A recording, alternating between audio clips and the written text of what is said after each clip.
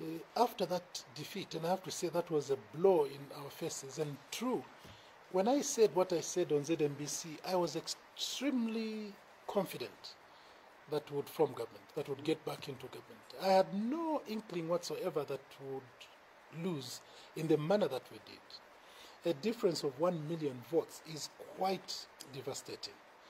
But I have to say, within 100 days, we realized that that bashing was a very temporal bashing because the Zambian people already are coming back to us and saying, What did we do on the 12th of August? What hit us for us to decide to vote uh, the PF out? And a lot of people are actually saying, What we voted against, or they put, put differently, they say, the 12th of August elections were not about voting for uh, a party, it was just about voting against the Patriotic Front.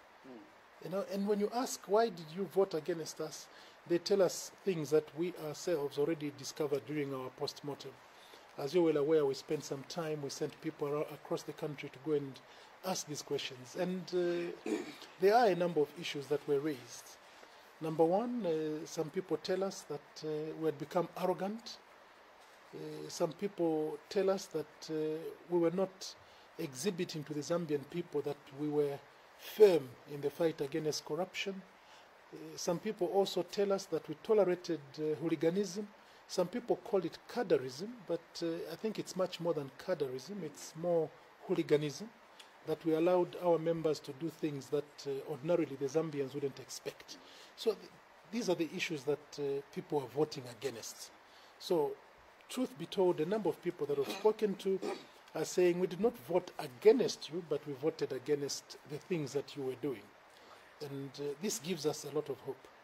Uh, already people are coming back to us and saying, well, now that we have a new team in place, we can now compare. Initially, we had no comparison, but now we can compare.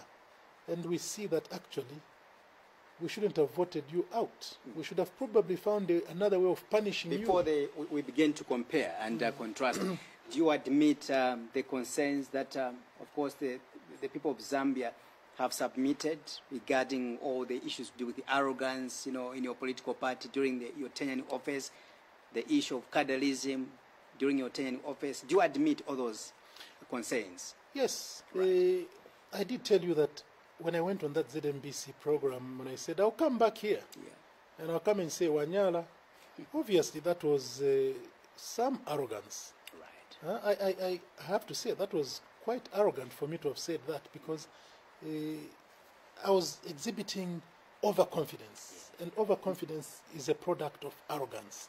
So I have to admit that uh, the Zambian people are right. When they say to us that they kicked us out because of these things, they are right. We must be judged by the people. We cannot judge ourselves. And this is the reason why we in the Patriotic Front readily admit that the Zambian people made their decision because there are things that we did which didn't please them. Had we done everything to please them, they wouldn't have kicked us out. So it's a fact, and we just have to admit. And uh, also bear in mind that admission is the first process in healing. Right. You know, if you want to heal, you first have to admit your wrongs, confess your wrongs, mm. and then ask for contrition. Then you're going to become a better person. And the Patriotic Front, as Vice President, I have to say, when we got the report, the post-mortem report, we did not defend ourselves. We said, this is what the people said, and we have to admit.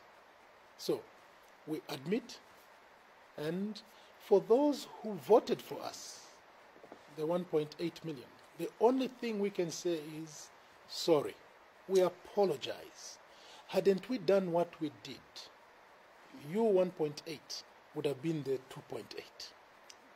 Uh, So we have to admit that and apologize to our people and assure them that we are learning from our mistakes. And because we're learning from our mistakes, we want to become an even better party. We want to be better than we were,